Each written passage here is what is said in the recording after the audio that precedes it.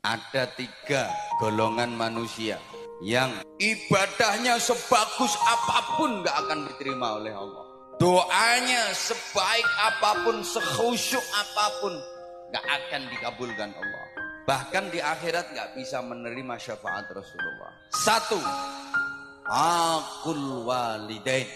Anak yang durhaka kepada kedua orang tua. Sehebat apa pun anak kalau sampai durhaka kepada orang tua. Seluruh ibadahnya ditolak sama Allah. Doanya nggak akan dikabulkan oleh Allah. Yang kedua, istri-istri yang suka melukai perasaan suami, menyakiti hati suami, padahal suaminya benar. Yang ketiga, orang yang mutus silaturahmi. Itu yang